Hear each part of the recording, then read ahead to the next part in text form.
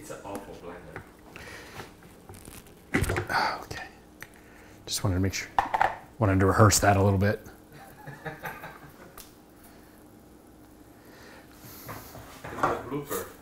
Yeah.